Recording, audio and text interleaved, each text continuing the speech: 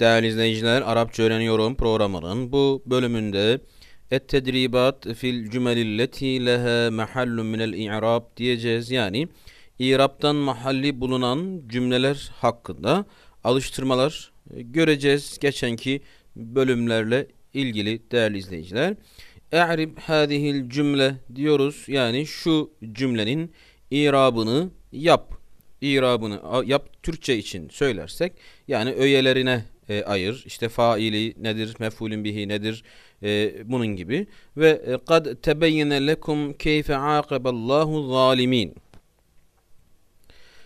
Evet Allahu Teala'nın e, zalimleri nasıl cezalandırdığı size açık oldu. Yani siz artık bunu gördünüz gibi bir e, cümle, bu anlama gelecek bir cümle e, ve bunu e, tek tek e, kelime kelime e, incelersek kat e, harftir. Harfu tahkik yani kesinlik anlatan pekiştirme e, harfidir. Ve e, harfler mebni idi. Mebni ne demek? Yani hiçbir durumda e, sonu değişmeyen, son harekesi, e, durumu değişmeyen e, kelimelerdi. Dolayısıyla bunun son harfi e, cezim olduğuna göre bu e, sükun üzere mebnidir diyeceğiz. Peki tebeyyene nedir? Burada e, madi fiildir. E, çünkü e, tefeale yani tefeul e, babında madi e, bir fiil ve mazi fiillerde mebni idi. Dolayısıyla bu da e, fetha üzere mebnidir, değişmemektedir diyeceğiz.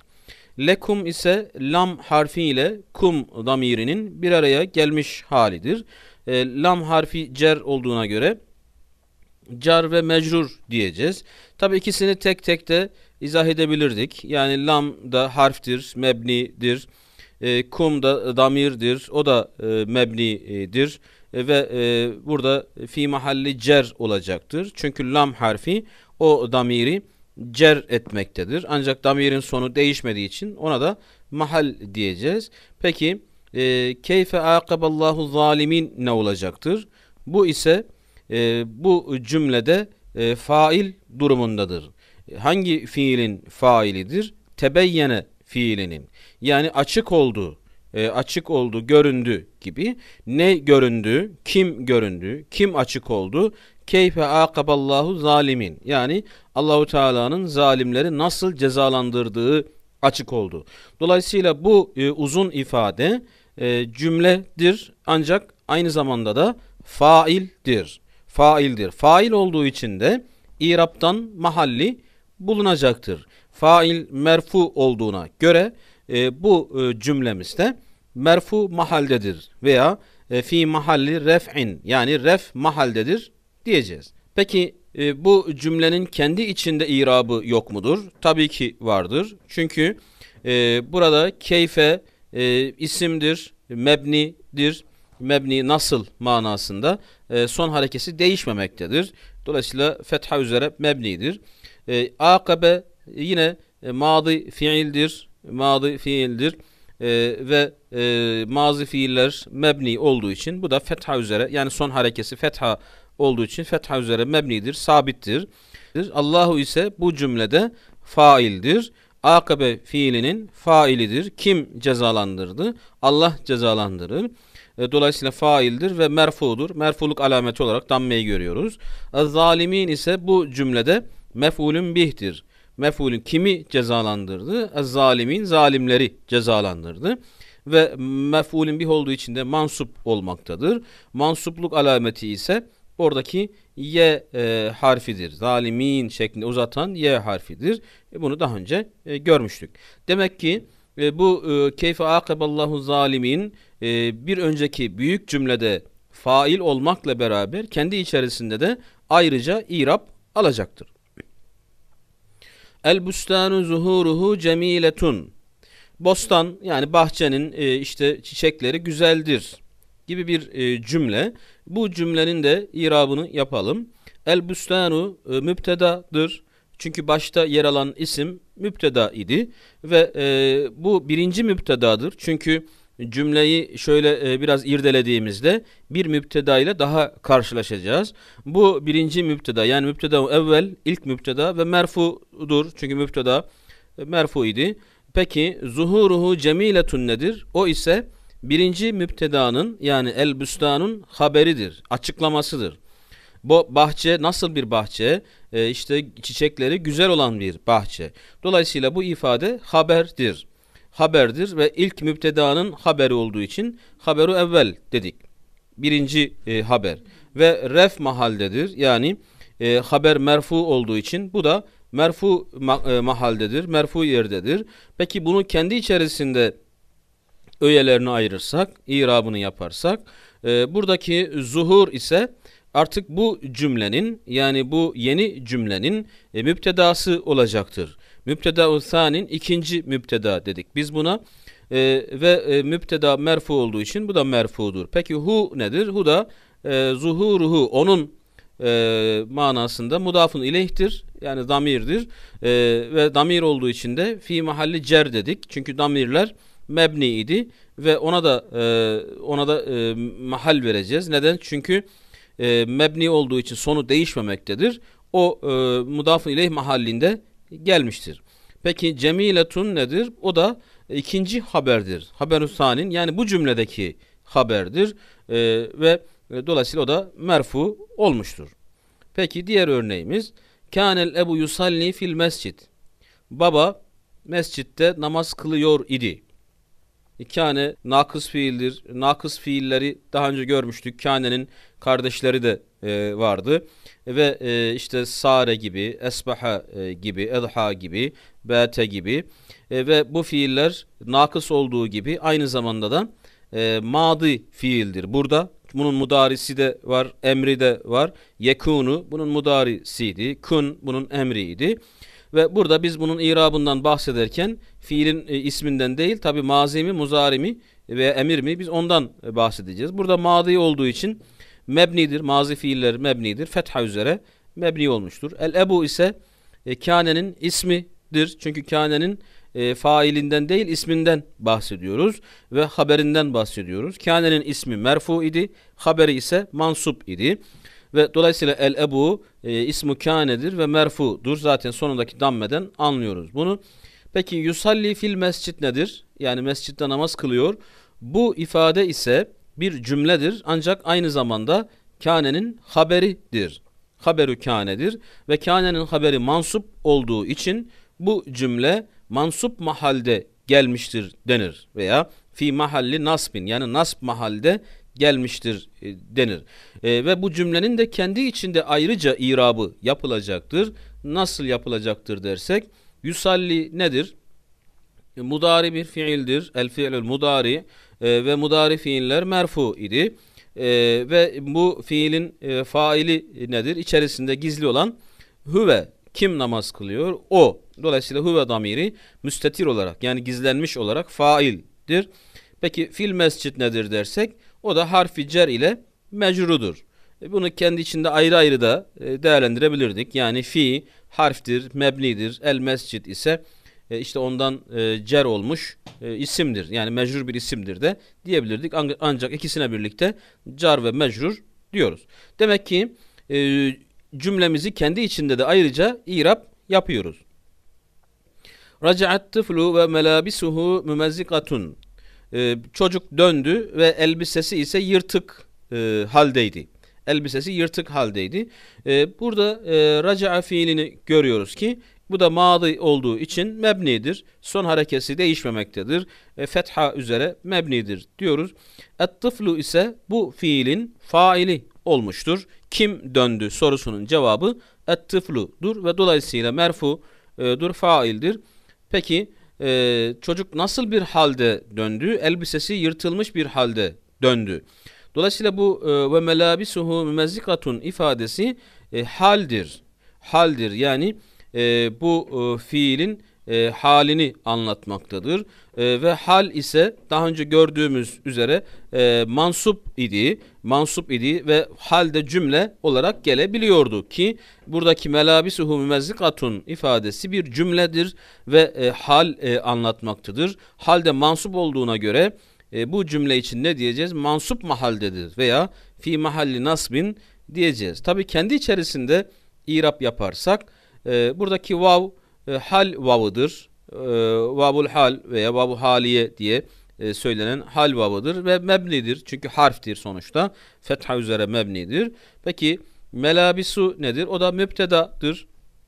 Çünkü bir isim cümlesidir bu. Müpteda olduğu için merfudur dedik. Hu ise mudafun ileyhtir. Hani onun elbisesi. Mudafun ileyh de mecruridir. Ancak damir olduğu için e, cer mahallindedir diyoruz. Çünkü damirlerin sonu değişmemektedir. Peki mümezzikatun ne olacaktır? O da melabis e, müptedasının haberi olacaktır. Yani açıklaması olacaktır ki o da merfu olarak gelmiştir. Hasibtul imtihane esiletuhu sehletun. Evet imtihanın sorularını kolay e, saydım. Kolay e, sandım gibi de çevirebiliriz. E, bu cümlenin irabını da yapalım. Hasibe burada madı fiildir ve mebnidir. Tu ise faildir. Kim hesap etti? Ben hesap ettim. Buradaki tü damiri e, ref mahallindedir. Çünkü faildir. Neden mahal dedik? Çünkü damirler mebniydi. Sonu değişmemekteydi. O yüzden onlara mahal veriyorduk. Aynı cümlelerde olduğu gibi. El imtihane ise mef'ulün bih evvel. Çünkü hasibe fiilinin e, ceale fiilinin yani bu tür fiillerin e, zanne gibi iki tane, üç tane mef'ulün bihi oluyordu. Yani e, bir tane de, iki tane de, üç tane de olabiliyordu ki burada birinci mef'ulün bihtir. Mef'ulün bih evvel yani ilk mef'ulün bihtir. Neyi e, saydım, neyi sandım? İmtihanı sandım. E, dolayısıyla mef'ulün bih evvel ve mansuptur. E, peki esiletuhu sehletun nedir? Bu ise ikinci mef'ulün bihtir. Evet imtihanı sandım. Ne sandım? E, soruları kolay sandım. Soruları kolay sandım. Dolayısıyla bu cümle bu cümle e, bir mef'ulün bihtir e, ve ikinci mef'ulün bihtir. Çünkü birincisi imtihane kelimesiydi. Mef'ulün bih olduğu için mansup olacaktır. Ancak cümle olduğu için ise doğrudan mansup diyemiyoruz. Nasb mahallindedir veya mansup mahaldedir e, diyoruz ki kendi içinde irabını yaparsak esiletu ne olacaktır? İsim olduğu için ve başta geldiği için müpteda olacaktır. Hu onun mudafu ileyhi olacaktır. Mahalli cer dedik ve sehletun ise bu müptedanın yani es ile e, isminin haberi olacaktır. Peki diğer cümlemiz fehasat tabibu meridan yeşku minel vec'i. Evet doktor e, ağrıdan şikayet eden hastayı muayene etti. Fehasa muayene etti ve e, f, e, madı fiil olduğu için mebnidir, fetha üzere mebnidir e, diyoruz. E, tabip ise bu fiilin failidir ve merfudur. Meridan ise e, mef'ulün bihtir yani e, failin fiili etkilediği şeydir veya fiilin faili ile birlikte etkilediği şeydir. E, kimi muayene etti? Hastayı. Mef'ulün bih mansuptur. E, peki yeşku minel vec'i e, nedir? E, yani ağrıdan şikayet eden.